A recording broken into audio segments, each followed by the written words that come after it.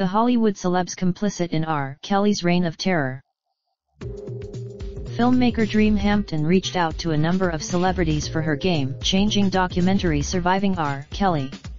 Stars like Lady, it was incredibly difficult to get people who had collaborated artistically on Kellyato come forward, Hampton told the Detroit Free Press.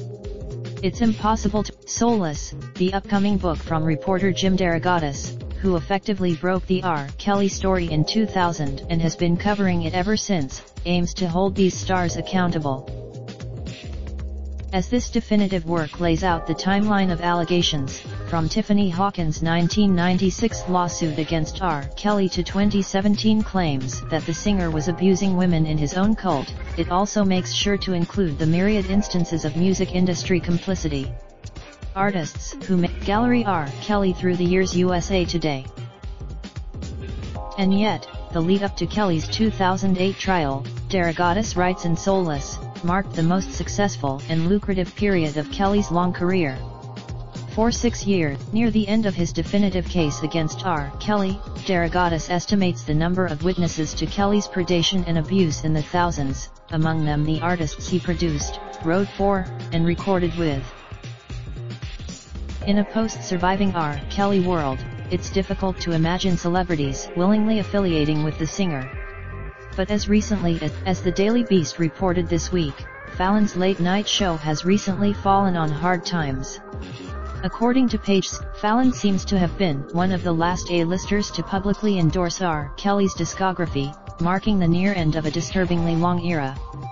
As DeRogatis re although he didn't comment on the video story, Jay-Z distanced himself from Kelly, canceling the planned tour supporting the album, DeRogatis reports. However, it wasn't hard to guess the rapper's reasons for teaming up with an artist who he appeared to find odious. As DeRogatis re during this particularly prolific period, DeRogatis writes, Kelly counted artists like Ludacris, LL Cool J, Lil Wayne, Ciara, and Missy Elliott among his musical collaborators. Snoop Dogg, hardest to fathom, Lady Gaga scored a top 10 hit with Kelly on Do What You Want in October 2013. The song's lyrics, DeRogatis also calls out the many comics who incorporated jokes about Kelly's alleged sex crimes and fetishes in their acts. When discussing R, in the aftermath of surviving R. Kelly DeRogatis, who published a story about R. Kelly's alleged cult in 2017, saw stars who had ignored his numerous requests for comment started to publicly denounce the singer. Artists such as, in a lengthy Twitter statement Lady Gaga wrote, in part, what I am hearing about the allegations against R. Kelly is absolutely horrifying and indefensible. I am sorry, both for my poor judgment when I was young, and for not speaking out sooner. More in-depth entertainment.